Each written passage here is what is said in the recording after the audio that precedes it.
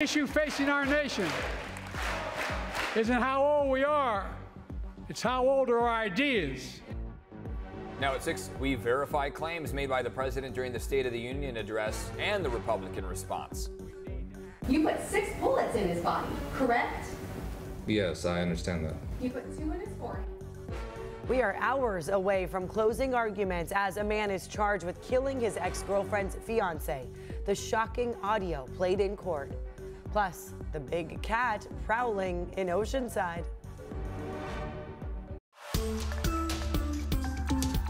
You're watching CBS 8 Mornings at 6. Welcome to your Friday, everyone. 6 a.m. here. I'm Eric Kahnert. And I'm Neda Iranpour. So glad you're joining us here. And we're going to start this hour with your forecast. It's Friday after all. What's the weekend looking like after we got some rain yeah. the past couple days? Oh, nice enough to wet the ground, mm. you know, dampen the ground. In some cases, it was a little heavy toward yeah, Wednesday, Wednesday, night. Right, yeah. uh, but Thursday was mostly just kind of the scattered, sporadic stuff that was left over. Now, as we head through your Friday, we're dry again. We're going to stay dry all the way into the upcoming weekend. And in fact, over the course of Saturday and Sunday, those temperatures are going to warm up pretty nicely. So take a look at the forecast for today. Mid 60s along the coast, low 70s are going to be possible inland, but we'll mostly stay in the upper 60s out there. So far, satellite radar showing that we are dry and the sun starting to come out across San Diego. We've got another about six minutes before sunrise, technically, but you can see how plenty of light is coming through, showing what a beautiful day it's going to be. Coming up, we'll talk about our next chance for rain in the forecast. Going to stay pretty low throughout the next week or so. So that's a little uh, precursor before we get there. Back to you.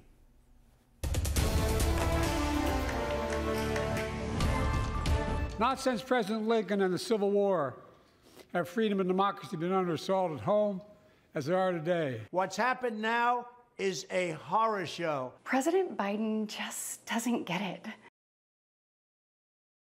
Well, this morning, we are now looking into claims made by the president in his State of the Union address and the Republican response. Our Verify team spent the night checking what claims are true and what's false. Here's Casey Decker.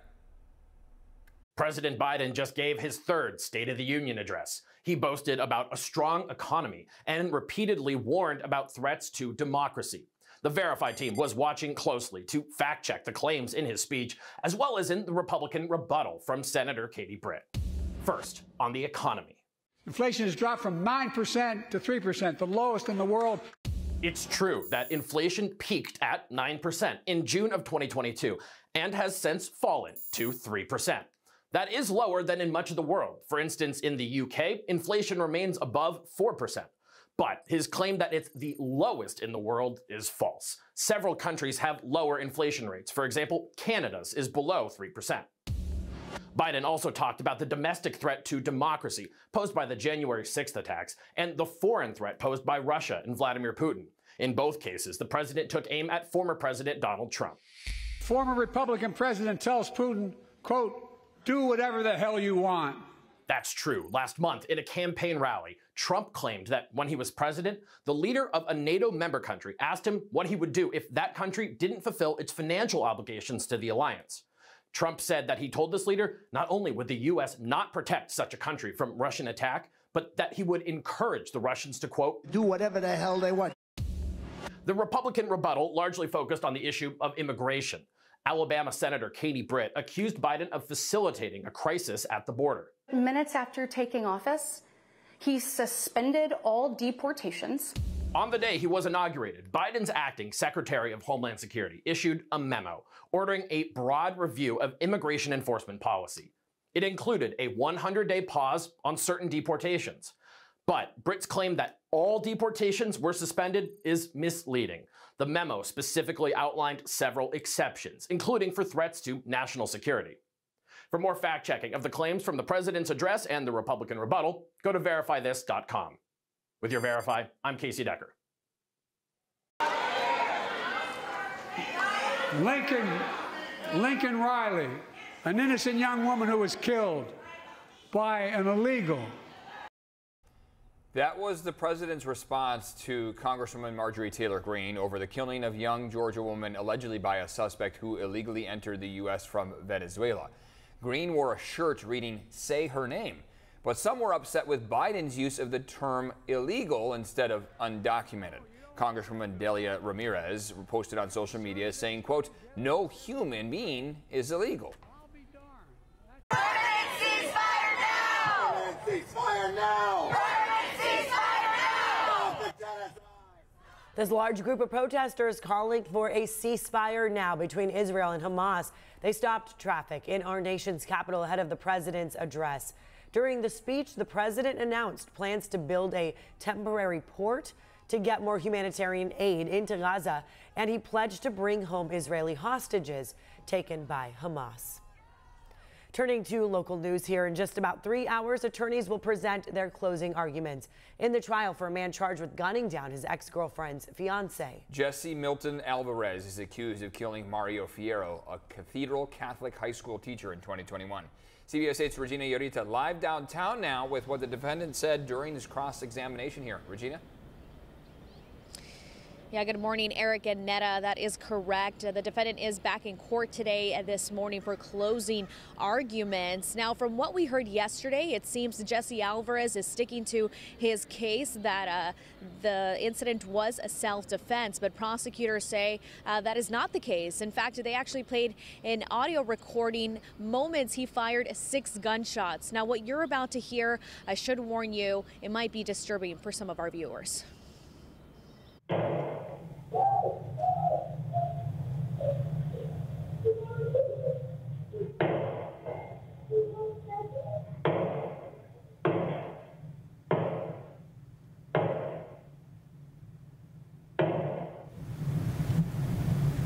That was you, right?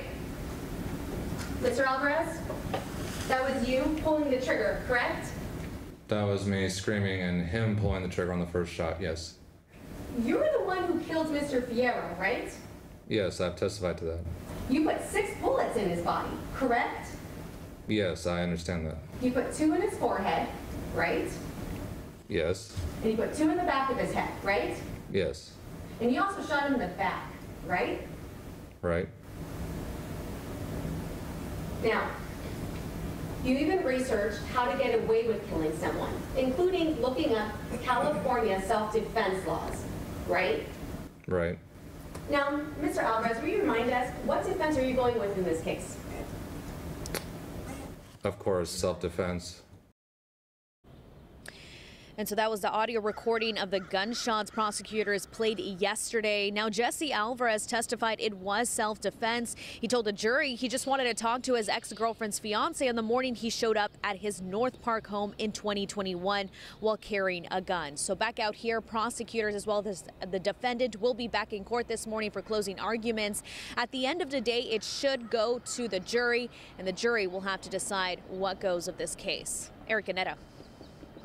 Wow. All right. Thanks, Regina, for that. And now this morning, some San Diego Unified employees facing layoffs could be notified as soon as today. This after the district school board approved major layoffs on Tuesday, all to help close the $94 million funding gap. More than 400 employees could be impacted by this, and the layoffs include teachers, administrators, school bus drivers. The district says the layoffs will be based on seniority and credential type. So whoever's been there uh, the least amount of time. By the way, the layoff official notice is expected to be mailed out next week. This morning, a group of thieves being tied to more burglaries in Mira Mesa. Police now say these guys are connected to 11 crimes, and in all of the cases, the suspects have been entering through rear sliding glass doors. Police say the thieves appear to target mostly corner houses. Authorities say at least three or as many as five young men have been involved in these. You're asked to call police if you know anything. And this morning, we are getting a better look at a mountain lion that was seen looking around Oceanside here, just roaming the streets. That big cat spotted several times downtown. Oceanside police released these videos to CBS 8 of the mountain lion walking near the Civic Center area and then crossing the street to Regal Cinemas. Maybe check out a show. There was also an unconfirmed sighting in the Rancho Del Oro neighborhood, which might mean it's heading back to where it belongs. If you see a mountain lion, by the way, remember do not run. Instead, face the animal, make noise, make yourself look big, and then slowly walk away. Let's check in with Evan here. That's Wow. a big cat. Big cat. City gonna say. Slicker here. Kinda Rebel. unmistakable out there. Compared to that mountain lion. Yeah. Ooh, yeah. Okay. I feel like I mean I know you're supposed to make yourself big, but like I would just freak out in the moment. Run as fast as you can. Ooh, okay. Uh, 609, just about to hit 610, and we are looking at a beautiful day out across San Diego County.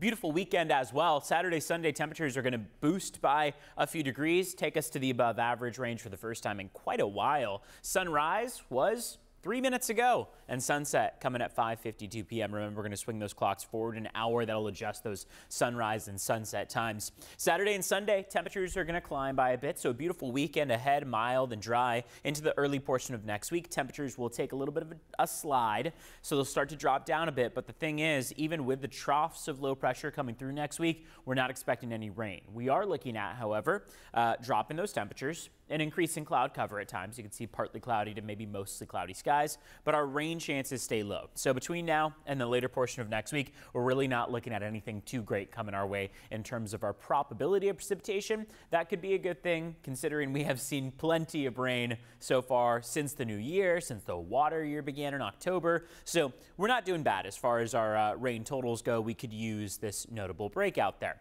because we've lost a lot of the clouds that we had over the last couple mornings. We are starting off the day in a colder range. So Temperatures are mostly in the 30s the farther east you go. Alpine, Campo, Ramona, Palomar Mountain, all in the 30s. Mostly in the 40s inland and then along the coastline, upper 40s, couple low 50s, like downtown San Diego at 52. Carlsbad at 49. Fallbrook is at 45 degrees right now. And we've got uh, Poway at 46. This afternoon, 60s come about. Tomorrow, Saturday as well as Sunday, partly cloudy skies with temperatures in the upper 60s and even some low 70s out there. Let's check in on traffic, see how your roads are here at 611. So far, things have been pretty quiet out there, but we just saw a crash pop up that is starting to cause some delays on the Coronado Bridge. Uh, it's a crash on First Street. Uh, so we're seeing a little bit of a slowing speeds on the bridge itself. Looks like another crash just popped up, and this actually may be the one that's causing more of those delays, uh, the one on the right-hand side there. So expect uh, stop and go traffic over the Coronado Bridge this morning, but besides that, we're not looking too bad in the greater picture. A lot of green out there. Let's look at border wait times, see how they are as we start off your Friday morning. San Ysidro Port of Entry, almost two hours it's going to take you. Hour 50, or excuse me, 115 minutes in total. Otay Mesa Port of Entry is going to be about an hour and a half. That's running at about 90 minutes right now. Back to you. Good to know. Thank you, Evan. Still ahead here, why more migrants may be drowning right off of San Diego's coast. Plus, more plane parts falling off midair. What happened this time that was caught on camera? And we spring forward this weekend. We'll tell you the impact on our health.